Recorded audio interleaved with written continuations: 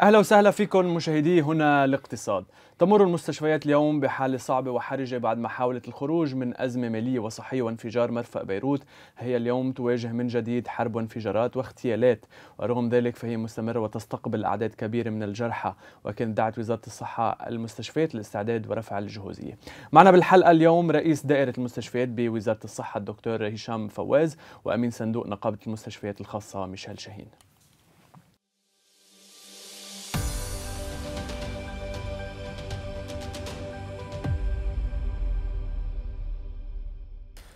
أهلا وسهلا فيكم اليوم آه، بحلقتنا. اولا رح بلش معك دكتور.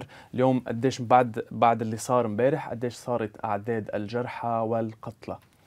آه، نحن بداية آه، الأعداد طبعا ارتفعت. لحد امبارح بالليل نحن آخر بيان نزلناه. بتصور صرنا بال 400 و إذا ماني غلطان تقريبا. صراحة لأنه يكون دقيق قد مع الضغط مع انه الأعصاب بيطلع من عنا. بس عشان نعطي ارقام دقيقة للمواطنين نحن بداية نحن صرنا امبارح لحد امبارح بالليل 492 شهيد و1645 جريح. من بين الشهداء في 35 طفل و38 امرأة. وطبعا العدد مرجح إنه يزيد. هذه بس عم نحكي بغارات امبارح فقط بين الجنوب وعلبك الهلمر والبقاع الغربي. طبعا آه هذا العدد مرجح يزيد بشكل كبير للأسف لأنه بعد في كثير ناس عم يوصلنا من فرق الإنقاذ تحت الركام وبعد في ناس حالتها كثير خطرة بالمستشفيات. طيب. رح انتقل لعندك أستاذ ميشيل اليوم هالاعداد اللي عم بيحكي عنها هل أنتم قادرين آه تحملوا هالكم من الجرحى والقتلى اللي عم تجي على المستشفيات وفي حال استمرت؟ الحقيقة أول شيء بدنا نعزي أهالي الشهداء والله يصبر الجرحى. آه، نحن عندنا آه، المستشفيات بالوقت الحاضر أكيد جاهزة. اليوم مثل ما قال الأستاذ هشام آه، هيدي المناطق يلي تضررت أكثر شيء هي بالجنوب وبالبقاع وبالهرمل يعني هول المستشفيات مبدئيا تبع هالمناطق اللي استقبلت الجرحى والشهداء. معناتها مستشفيات بغير مناطق بعدها هلأ. بعدنا ما طلعنا من الضربة تبع ثلاثة الماضي والأربعة وال... ما طلعنا منهم إنما المستشفيات بالوقت الحاضر بعدها جاهزة لا سمح الله اجى ضربة ثانية أو ثالثه يعني بعدها قادرة تستقبل. على شرط تكون موزعة يعني لسوء الحظ عم بيكون الضرب الخبيط مركز على هالمناطق. بس الوضع كثير صعب الوضع صعب. طيب دكتور اليوم في سؤال الكل يعني في فئة من الناس عم تسأله إنه ليش اليوم الوزارة بدها تغطي التابعين لحزب الله وهو قرار السلم والحرب بإيد حزب الله؟ أول شيء آه، نحن اليوم حلقة بتصور هي صحية. بدك يعني تسامحني. أول شيء أنا لا لا أنا هجاوبك لا لا هجاوبك هجاوبك أول شيء نحن حلقة صحية. انه هلا صار حزب الله عم بيأمن بمؤسسات لا لا خلي خلي خليني أخبرك شيء. نحن اليوم أنا مني جاي أفتح نقاش سياسي هون. أنا جاي أفتح نقاش صحي. اكون صادق معك. ورح جاوبك على السؤال. اثنين آه، أنت ذكرت مرتين قتلى أنا بعترض هذه الجملة. أنا بعتبرهم شهداء. صحيح. في يعني بدك تسمح لي إذا بتريد. أنا مرقت أول مرة لكن ثاني مرة ما بتمرق. يعني مع احترامي للمحطة اللي أنا فيها أكيد. ولا أكيد نحن لحضرتك بس هدول شهداء. أول شيء سقطوا امبارح هن شهداء مدنية. في أطفال. إذا أنا إذا أنا بعرض الصور اللي إذا أنا بعرض إذا مش كلهم هو شهداء لبنان هم مواطنين لبنانيين قبل ما يكونوا أي شيء. إذا أنا بعرض الصور اللي عندي للأطفال والرضع اللي كانوا ببيوتهم آمنين ما بتصور في حدا بيقدر يعطي ذريعة لهذا العدو تحت أي مسميات. أول شيء نحن كوزاره الصحة ملتزمين بالمواطنين اللبنانيين إن كان بحزب الله ولا غير بحزب الله. أي مواطن لبناني على الاراضي اللبنانية هو مواطن لبناني. شو ما كان انتمائه السياسي والطائفي. نحن دولة بنتعاطى مع جميع المواطنين اللبنانيين. ما بتصور لحد هاليوم حدا قدر بيقدر يسحب الهوية من أي حدا مين ما كان يكون. نحن بوزارة الصحة ما بنشتغل سياسي. نحن بنشتغل صحة. وبالصحة نحن بنتعاطى مع كل الأطياف اللبنانية على مختلف شواربها أو مشاربها عفوا السياسية والطائفية، نحن كوزارة صحة لبنانية مسؤولين عن اللبنانيين، بغض النظر عن انتمائهم السياسي والطائفي، من أقصى الشمال لأقصى الجنوب، فبهذا الموضوع نحن لا عم نخدم أي هدف عسكري ولا عم نقوم بأي دور عسكري ولا عم نقوم بأي دور سياسي، نحن مش شغلتنا سياسي وما بنشتغل سياسي ولا اليوم جاي أحكي سياسي، أنا اليوم جاي أحكي صحة بيور صحة، نحن عم نشتغل صحة، هدول أهلنا، هدول ناسنا، هدول شعبنا اللي امبارح كانوا بالمستشفيات هو أهلنا هو ناسنا. وبعدين كل المستشفيات بلبنان أنا بوجه لها التحية لما استقبلت ما سألت هذا إذا بحزب الله ولا برات حزب الله. استقبلوا كل الناس من دون استثناء okay؟ لأنه هيدا هيدا أصلا رسالة الطب. رسالة الطب اليوم بكل العالم مش بس بلبنان التعامل مع الجريح ومعالجته بغض النظر مين هو. يعني هذه رسالة سماوية والأستاذ ميشيل في رك... في أكد على حكي. اليوم نحن برجع بقول لك دورنا طبي أهل السياسة هن بيحكوا سياسة. بس نحن كوزارة الصحة مسؤولين عن اللبنانيين ومكملين بهذا الدور. ما حدا يلبسنا توب سياسي لأنه البعض صار عم بيحاول يلبسنا توب سياسي. نحن ما عم نلبس توب سياسي. طب على أي أساس ما أخذتوا أسماء الجرحى بالمستشفيات؟ مين مين قال ما اخذ أسماء عم بقول إنه ما عم بيأخذوا مين أسماء الجرحى لا لا دقيقة شوي. ليك. نحن برجع بقول لك أنا بدي الحلقة تتحول لسياسه إذا الحلقة بتتحول لسياسه أنا بفضل نحن لا لا. أنا برجع بقول لك إذا هي هي حلقة سياسية اسمعني إذا بتريد. حلقة سياسية اذا حلقه سياسية. أو استنطاق سياسي أنا بنسحب من الحلقة إذا بتريد. خلص. إيه نحن أنا اليوم اسمعني طبعا. إذا في شيء أجندة معينة للحلقة أنا بنسحب من الحلقة لكون كثير صريح معك. ما في إيه أجندة. لا وضح لك شيء. أنت لا عم تسأل أسئلة سياسية. ما عم تسأل أسئلة صحية. اسمعني إذا بتريد. طيب إذا بتريد. طيب بس أنت عم تسأل أسئلة سياسية مش عم تسأل أسئلة موجودة على أرض الواقع. أرض الواقع. نحن هي هي عم يصير رقابه المستشفيات. في شيء اسمه بطاقة طيب حدث. نحن كل مستشفى عم بسمعك لكن طبيعة الأسئلة بطل صحية. صارت سياسية. أي سؤال؟ ما بدك تجاوب عليه لا أنا بجاوب على كل الاسئله لا انطوان مثلا هيدا السؤال مش أنا ما عندي شيء ما بدي أجاوب عليه بس أنا عم أنا عندي أسئلة عم بحطهم عم بحط أسئلة موجودة الناس بدها تسألها. الناس بدها تسألها. لا بدي أنا لا ما حدا عم يسألها أنا ما حدا اسمعي شوي. ما حدا عم يسألها غير اللي بده يسألها. بالعكس. ما حدا عم يسألها غير اللي بده يسألها. خليني أجاوب عن الأستاذ هشام. اللي قلته أنت مش مزبوط ابدا. أنا موجود على جروب خلقته النقابه للمناطق. كل منطقة في مدراء المستشفيات الوزارة خلقته مش النقابه لا لا الوزارة الوزارة. وزارة الصحة. نحن بس عم تعمل شغل. لا لا لا. بدي لك يعني ما مش إنه أنا لا لا لا لا نوضح الأمور مثل ما هي. وزارة الصحة عم تعمل شغل. إنه ما في لا لا لا, لا خليني خليني خليني لك. وزارة الصحة عم تعمل شغل جبار. ومش من إمبارح وأول إمبارح. صار لهم أشهر ومش بوجهه للزلمه بس عن جد يعطيهم ألف عافية عملوا شغل رائع. وأنتم حضرونا يعني حضروا كل مستشفيات لبنان من أشهر من أشهر حضروا المستشفيات كلها من كل حكوميه وخاصة جميع المستشفيات جاهزة كانت لهاليوم. عم بينعمل شغل كبير. هلأ توصل لليوم. اليوم في group ات موجودة على ال mobiles. كل منطقة جغرافية كبيرة فيها group وحضرته موجود عليها والشباب اللي بال team تبعه. وعندنا شو اسمه عندنا form كل مستشفى بتعبي ال form يوميا بأسامي كل الجرحى والشهداء اللي عندها. عم نحكي على platform موجودة كل العالم فيها تشوفها. نحن هيدي موجودة بين مدراء المستشفيات كل مدير مستشفى عم بيحط لائحة بأسامي اللي عم بيوصلوا لعنده. يعني تنقول يعني معلش العالم تحكي اللي بدها إياه بس آخر شيء في واقع. الواقع أنا عم مدير مستشفى عم لك بنحط أسامي الجرحى والشهداء اللي بيوصلوا لعنا وبنبعتهم للوزارة. الوزارة عندها الداتا كلها عندها الأسامي كلها. بقى هيدا الحكي يعني بعتذر بس هيدا حكي ما له ما له أي قيمة. برجع بقول لك أنا دكتور هاي الأسئلة أنا مش مش عن عني عم بس ولكن في ناس عم تسأل. لا لا طيب اليوم شو المشاكل اللي, اللي بده يسأل يروح يقول يعطيكم الف عافيه لما قبل ما يسال هيك أسئلة سخيفة أوه. مع احترامي له مين ما كان يكون طيب. ما هي المشاكل اللي واجهتوها اليوم بالوزارة؟ نحن اليوم خليني أخبرك شيء، اليوم أول شيء بدي أرجع أعيد، أنا لو بضلني أتشكل لبكرة الصبح الطاقم الطبي والممرضين وال... والأطباء بكل لبنان بكل لبنان ليك ولا في مستشفى لبنان إلا ما أعلنت البيت النداء، بكل لبنان بدون استثناء م. ولا مستشفى رفضت مريض أو ف... أو سألت عن مريض م. عرفت وهذه تحية شابوبا مثل ما بيقولوا نحن اليوم مشاكل لحد هلا لا لأنه نحن محضرين مزبوط الوضع م. كله تحت السيطرة. مش لأنه نحن هيك لو نحن ما في تحضير مثل الاستاذ ميشيل 11 شهر ما بتشوف هالردة الفعل السريعة. اليوم نحن لما قلنا هول الضربات اقسى من انفجار مرفأ بيروت البعض املينا نحن ما عم نقلل من حجم انفجار مرفأ بيروت والدمار اللي صار والشهداء اللي سقطوا ابدا.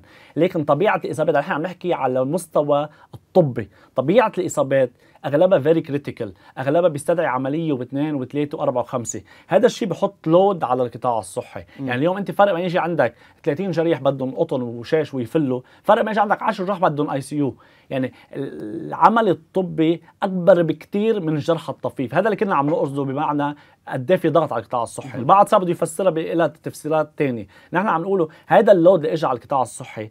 كله إصابات بالغة. يعني ثلاث أرباع المرضى احتاج دخول المستشفى، جزء كبير احتاج ال ICU، الجزء الأكبر احتاج عمليات، نحن صرنا عاملين فوق ال 2500 عملية بساعات، يعني ما عم تحكي عن ارقام عادية نحن، المشاكل لحد هلأ ما في مشاكل الحمد لله. مشاكل طبعا الممرضين والأطباء ما عم بيناموا من هدول بشر. برجع بعيد نحن عم نحاول ننقل الاصابات بالمستشفيات نخفف ضغط عن بعض المستشفيات لكن برجع بقول لك الوضع لحد هلأ تحت السيطرة. ما فقدنا السيطرة ما في حدا والله عم يتحكم بالطريق ابدا. هلأ بنرجع على نحن لحد هلأ الحمد لله تحت السيطرة. لكن اليوم بتقلي قد إيه فينا نكمل بهذه الطريقة؟ بقول لك طبعا الوضع عم بيصعب كل يوم عم بيصعب لأنه القطاع الصحي ما عم بيلحق يتنفس. يعني أنت اليوم تخيل بأقل من أسبوع بقى أنت إذا أنت بلش نحن الثلاثه أربعة جمعة يعني نحن اليوم بأقل من مع اليوم صرنا الثلاثه بأقل من أسبوع أنت صرت مستقبل فوق ال 5000 جريح 5000 جريح ثلاث أرباعهم بدهم دخول مستشفى وثلاث أرباعهم بدهم عمليات. غير عدد الشهداء. يعني برجع لك الشهيد الله يرحمه يمكن ما بحط بده تدخل جراحي لكن هو جرحى كله بده تدخل جراحي وبده متابعة وبده عمليات طيب. وبده موارد يعني ما تنسى. يعني عم نحكي عن كذا شيء نحن. بده موارد مادية وموارد لوجستية هذا كله. أنت بحرب تموز كلها. ما شفت السيرة اللي عم تشوفه اليوم. يمكن اللي عم شفناه بأسبوع قد هو شهر من حرب تموز. حتى نهار واحد كان نص اعداد عرفت؟ يعني نحن ما عم نحكي عن شيطة اللي عم طبيعي اللي عم بيصير اليوم. بحياته ما صاير بلبنان. يعني بتاريخ لبنان الحديث اللي عم بيصير هذا الأسبوع بحياته طيب. ما صاير بلبنان برجع بقول لك لو ما كل هالتحضير ما كنا كنا النتيجة مختلفة كليا. مختلفة كليا. طيب أستاذ ميشيل اليوم بعد توثقوا بالوزارة. إيه أكيد. أكيد. عندنا كل الثقه بالوزارة. أول شيء لأنه بطريقة التحضير مثل ما قلنا يعني اليوم. صار لنا أشهر وأشهر وأشهر عم نحضر كل الطواقم الطبية والتمريضية بالمستشفيات.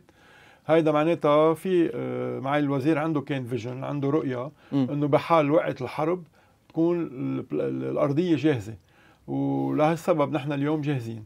هلأ الوزير يعطيه ألف عافية عم بيقدر قد ما في يعمل. آخر شيء مش هو الدولة اللبنانية.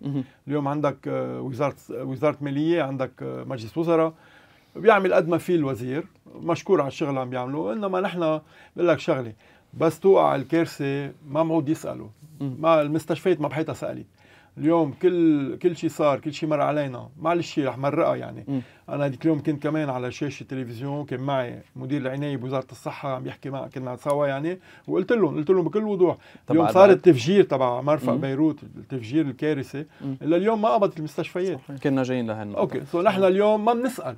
يعني اليوم م. مش إنه إنه لا وبنقعد نبكي. لا لا أخي نحن بآخر شيء عندنا دور وطني نقوم فيه. يعني حتى رسالة. اليوم قصدك تقول إنه لو ما دفعت لنا الوزارة ليك ما حدا بيسأل. ما رح نسأل؟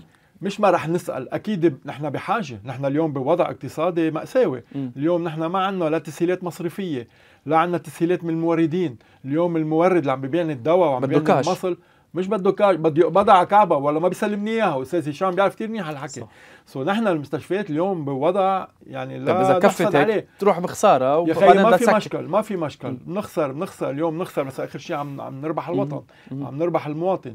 اليوم يعني قال شغلة أستاذ هشام وهي ما صايرة من قبل. اليوم لسوء الحظ اللي صار جمعة الماضي مش امبارح جمعة الماضي بالانفجارات تبع ال pagers الجرحى كانت الإصابات ما شايفين منها بحياتنا. الحكمة بيقولوا لنا ما شايفين هيك شيء بالحرب اللبنانية ما شفنا هيك شيء وشو القصة؟ إنه اليوم يلي تضرروا عيونه هيدا مش إنه فات عمل عملية وفل. لا هذا بده يعمل عملية واثنين وثلاثة بده يعمل آه، معالجات. مشان هيك مشان هيك بس قال شغلة كثير مهمة إنه القطاع الاستشفائي الاستشفائي مرهق. م. يعني اليوم رح نتعب معهم كثير لأنه هي عم تروح على فترة طويلة. مش إنه فات مثل ما قال قطب أو عمل شيء أو عمل عملية وظهر. لا هيدي فيها متابعة. هلأ بالنتيجة نحن آه عندنا رسالة إنسانية بدنا نقوم فيها واجباتنا نقوم فيها. نحن اليوم عندنا مستشفيات على صار لها مئات السنين مش عم نحكي مستشفى عمرها اثنين وثلاثة وأربع سنين. بقى هيدا لبنان هيدا وضعنا عايشين بهالمنطقة بدنا نتأقلم مع الوضع اللي نحن فيه. طيب قديش بضاينكم ال stock؟ ليك في ستوكات. اليوم الموردين عندهم م. ستوكات كافية. المستشفيات كلها عندها ستوكاتها. أكيد إذا صار في آه، آه، شو بيقولوا blocus يعني صار في آه، شو شو الكلمة يعني الحظر أو يعني تسكير حظر.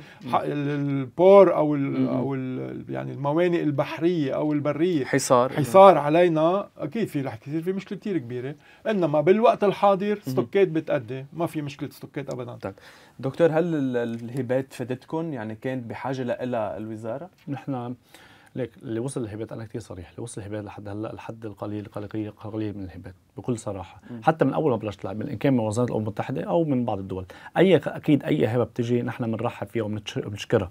لحد هلا كدول اللي بعثوا مساعدات بشكل رئيسي من العراق م. كدولة الأردن بعد للجيش اللبناني مشكورين. آه كيو ان ايجنسي دبليو اتش أو بدايه الأزمة إنه اليونيسف بشكل رئيسي لكن الهبات مقارنة بالحاجة الفعلية نحن كثير بعيد عن الحاجة الفعلية. وبكل صراحة نحن بيعرف أستاذ ميشيل نحن من أول لحظة طلبنا ما نعتمد على الهبات. طلبنا من المستشفيات تعزز ستوك لثلاث أربع أشهر لقدام. يعني نحن من أول الحرب لأنه إحنا صرنا 11 شهر بحرب عم نطلب مستشفيات تعزز الطاقه ما حدا ينطر الهبات. الهبات نحن عم نجي ندعم فيها المستشفيات كدعم إضافي. وبكل صراحة نحن عم ندعم بالجنوب أو بالبقاع أو بعلبك أو حتى بالرجب عم ندعم الخاص والحكومي من دون أي شرط. يعني لما عم نعطي الهبة عم نعطيها للحكومة والخاص. مش عم نقول الحكومة إيه والخاص لا. نحن بالنسبة لنا بهذه المعركة الحكومة هي ذاته الخاص والخاص هو ذاته الحكومة. يجب أن يكون في تكامل بالحكومة والخاص ونحن ما عم نميز بهذا الموضوع. استتباعا لموضوع المادي لأنه الموضوع المادي أساسي. واستبعادا اللي قالوا بانفجار مرفأ بيروت. نحن من أول لحظة حطينا نصب أعيننا خصوصا بالضربات هول الكبيره نعطي حقوق المستشفيات. ونأمنهم سيولة سيولة انتبه مش بس مستحقات السيوله قبل المستحقات بشكل سريع. وهلأ بعد شوي في لقاء بنقابة المستشفيات معالي الوزير والنقابه لإعلان كيف طريقة الدفع والفوضى لأنه رح يكون بطريقة عاجلة مش بالبيروقراطية الإدارية العادية بموضوع السقوف المالية و و و. لا رح يكون في آلية من الحساب اللي حددته الحكومة اللي هو حاليا آه تقريبا حوالي 11 مليون دولار رح يندفعوا بشكل سريع للمستشفيات وبشكل طارئ جدا. من وين هذه ال 11 مليون؟ هذه خصصته الحكومة لجرح الحرب أول أول الأزمة. مش من هلأ مش جديد. كنا حاطينهم هلأ رح نبلش نستعملهم بشكل سريع برجع عيد وبشكل عاجل من خارج السقوف المالية ومن خارج البيروقراطية. امبارح معالي الوزير المالية زارنا مشكور بوزارة الصحة وأعلن استعداده لتسهيل أي شيء بتعوز وزارة الصحة. هناك تعاون كبير من باقي الإدارات بكل صراحة والكل عم مستعد يلبي ويخدم المستشفيات بموضوع السيولة. لأنه هي المستشفيات بدك تعطيها سيولة تضل واقفة على أجريها. طب ليه بعد ما أعطيتوا المستحق تبع أربع أب رح تعطوني هون؟ نحن بموضوع مستحقات الأربع أب هذا تفصيل أديب كوزارة الصحه صار في بوقتها مشاكل مادية. صار في بموضوع راحوا بمصالحات ما يسموا مصالحات. وبعده عم يتابع الملف لكن تأخر بوقتها. لكن نحن بوجود الدكتور أبيض كان همه الأول اليوم معالي الوزير دكتور أبيض انه هاي المستشفيات تقبض حقوقها اليوم قبل بكرة. ونأمننا سيوله برجع لك سيوله هو موضوع كثير مهم. مش بس إنه أنا فوترت لك أنا في فوترك بدفع لك بعد سنة. هلأ لأنه صارت أنا بدي امنك بتعطون سيوله على أربعة ما بتعطون لا لا دي شو دي شو لا مش لأنه صارت هالقصة برجع بقول لك. برجع لك. خلينا نقارن الموضوع من طريقة موضوعية. نحن أستاذ ميشيل في يذكر اليوم اللي عم بيصير وزاره الصحة من قبل الحرب بحيث الفوتر الروتينية. تسريع بالفوتر إحنا صرنا عم نفوتر ونحول مصاري أسرع من شركات التأمين. خلي العالم تعرف. وهذا الأستاذ ميشيل يصلح لي. بموضوع الفوتر أحيانا إحنا أحيانا عم نكون بس مأخرين شهر لورا. يعني المستشفى بتقدم في بعض الاعمال الطبيه مثل ال dialyse مثل ال cancer عم بتم تدقيقها خلال أسابيع مش صحيح هيدا يا أستاذ آه في ما في شك في آلية جديدة عم بيطبقها معالي الوزير خصوصا بالأشياء اللي مثل ما قلنا ال dialysis ال oncology ال cancer patients وهيك عم بتكون في يعني آه مثل خط مثل بقول خط عسكري. يعني سريعة كثير عم تكون التدقيقات وعم تيجي المصاري. بموضوع الدفع نحن برجع لك تأمين السيولة للمستشفى هو أساس. غير إنه علينا التعريفات نحن أكيد هلا مش موضوعنا اليوم لك علينا التعريفات وبعدنا عم نشتغل على تعليتها قبل ما تصير هالضربه نحن علينا كال حكيم ل 5 دولار مثل قبل الأزمة. يعني نحن مشتغلين بسيستم نرجع هذا النظام يتعافى شوي شوي عم بحكي على مستوى الاستشفاء مع إنه مش برجع لك مش موضوع الحلقة. لكن موضوع تسريع الدفع للمستشفى. أنت بدك تطلب من المستشفى كمان بدك تلبي المستشفى. طيب. هذه سياسة الدكتور أبيض. سياسة معالي الوزير تأمين ديمومة هذه المستشفيات. قد إيه صارت الكلفة التقريبية اليوم من بسبب الحوادث؟ هلا هلا عم نعمل تقييم مع المستشفيات بحاجة شوية وقت. يعني ما في عشان ما ما نزف أرقام لأنه هذا الأسبوع يعني أكثر من كل الحرب باضعاف وأضعاف وما بلشنا الحرب. يعني التكلفة المادية لهذا الأسبوع تختلف عن كل المرحلة السابقة.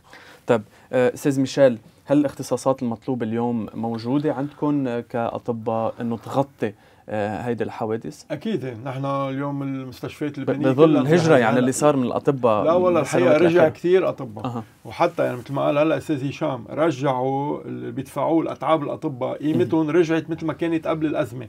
وهذا الشغله كثير ساعدت. أكيد كمان بقطاع التأمين كمان على تعريفاته للأطباء بعد المستشفيات أسعارها كثير واطية مع التأمين. إنما للأطباء زادت التعريفات رجعت مثل ما قبل الأزمة هذا كله ساعد إنه الأطباء ترجع. في كثير أطباء هاجرت رجعت. يعني هذيك اليوم كان عم بقول نقيب الأطباء حوالي 60 65% من الأطباء اللي هاجروا رجعوا على لبنان. هذا شيء ممتاز. هلا بتقلي عن إنه قادرين الاختصاصات. نحن على شكل بشكل عام قادرين نلبي الكل. إنما مثل اللي صار بالأسبوع الماضي كان شوي آه، مفوكس على الأعين والإيدين. الإيدين ما عندنا أي مشكل للأضرار بس إنما الأعين عندنا عدة مراكز أعين بلبنان. مش كل المستشفيات عندها مراكز للعيون. مش هناك شفنا إنه في آه، بعض المصابين اضطر آه، وزارة الصحة تسفرهم لبرات لبنان ليجروا عمليات. لأنه كمية يعني الأعداد مهولة كانت مهولة بالميات اللي انصابوا بعيونهم. بس لبنان ما بيقدر يعني كل المستشفيات تلبي هذا إنما مع غير اختصاصات كلها ما في أي مشكل بتاتا طيب كيف قدرتوا تسيطروا على الوضع بالجمعه الماضية وبهالأيام الأخيرة؟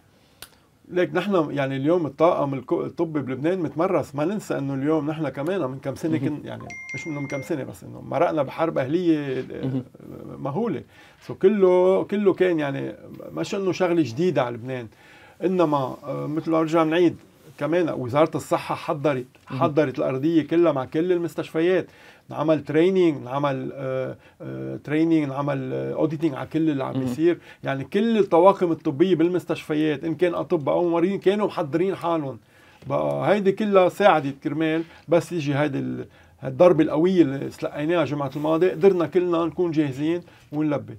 يعني وقتها صارت الضربة من حوالي الأسبوع الانفجارات تبع البيجر فوق ال 100 مستشفى بلبنان استقبلت مرضى. إنه ما عم تحكي اليوم بلبنان كله عندك حوالي 100 150 160 مستشفى. عندك 100 مستشفى بلبنان استقبلت جرحى وشهداء. هذا رقم مهول يعني. طيب دكتور اليوم المستشفيات الرسمية عم بتعاني. كمان أيضا فيها معدات مطلوبة لتواجه هيدي الحرب كمان لتلبية نحن اليوم اليوم شو اسمه؟ عدد الجرحى اليوم المستشفيات قصدك الحكومية يعني لما تقول المستشفيات الرسميه نحن المستشفيات الحكومية خليني أخبرك شيء. إذا بنطلع جغرافيا طبعا نحن برجع بقول لك اليوم نؤمن بالتكامل بين القطاع الخاص والحكومي هذه سياستنا واستراتيجيتنا من زمان. نحن كنا عم نعزز الحكومي لنشيل تقل عن الخاص. اليوم إذا بتطلع قبل ما يصير هاي المعركة الكبيرة اليوم إذا تطلع بال... بال... بالشريط يعني أنت اليوم مستشفى بالجبال قضاء بالجبال في عندك ثلاث مستشفيات حكومية من أصل أربعة يعني وحدة خاص وثلاثة حكومة واللي حامل تقل بشكل كثير كبير هي مستشفى تبنين الحكومة إذا بنزع محفظة النبطية هناك مستشفيتين خاصة ومستشفى حكومي آه، اثنين حكومي واثنين خاص بين مرجعيون والنبطية ورغب حرب وصلاح غندور رغب حرب عفوا والنجد الشعبية. كمان جزء كبير من التقل هو مستشفى النبطية الحكومي بالإضافة لرغب حرب. إذا بننزل بنروح على البقاع نفس الشيء امبارح بعلبك الحكومي استقبل عشرات الحالات بل مئات الحالات. فاليوم الحكومة عم بيقوم بدور كتير كبير الخاص عم بيقوم بدور كمان كتير كبير.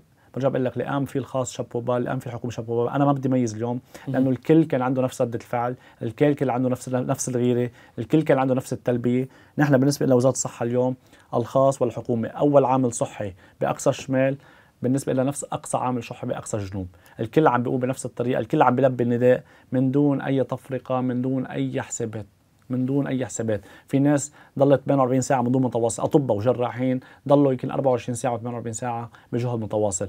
بهون ما في الواحد إلا ينحني أمام تضحياتهم. يمكن شكرا كلمه قليله برجع بقول لك وهذا الجهد صدقني ما حدا اشتغل لك كرمال المصاري.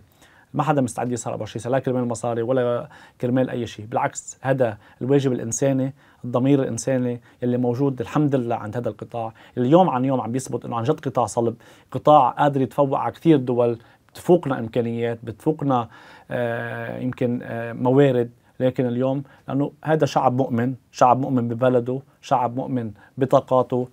آه برجع لك الوضع صعب لكن الحمد لله هذه المستشفيات عم بتقوم بواجبها وأكثر من واجبها ونحن بتأكد لك وزارة الصحة ما ومعالي الوزير ما راح يحط جهد إلا يوقف حد المستشفيات وقدام هالمستشفيات ونحن كلنا كفريق هن بيعرفوا عم نواكبهم على مدار 24 ساعة. يعني مثل لك صوتي بضل يلعلى يمكن. نحن على مدار 24 ساعة عم نواكب المستشفيات هاي الغرفة ما عم تسكر ونحن حنضل نواكبهم. بالنهاية هيدا البلد بلدنا وما عندنا بلد ثاني نروح له. آخر سؤال أستاذ ميشيل ما هي معاناة المستشفيات اليوم؟ وشو بتطلبوا الوزارة؟ شو بتطالبوا الوزارة؟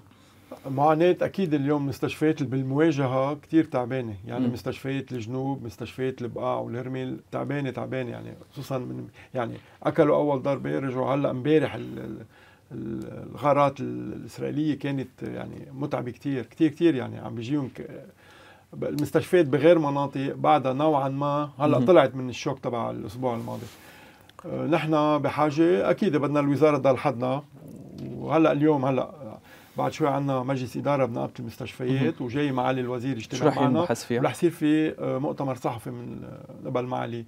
آه، بس شو الموضوع؟ لا الموضوع الأساسي هو مثل ما قال هلا أستاذ هشام هو طريقة تسديد المستحقات أو يعني حتى يفرجينا إنه هن واقفين حدنا الوزارة إنه مأمن ال budget ورح يسهل كل شيء وشغلة كثير مهمة قالها أستاذ هشام هو أكثر من قصة فوتره أنا ما بيهمني فوتر طب أنا فوترت بأربع آب وما قبضت شيء.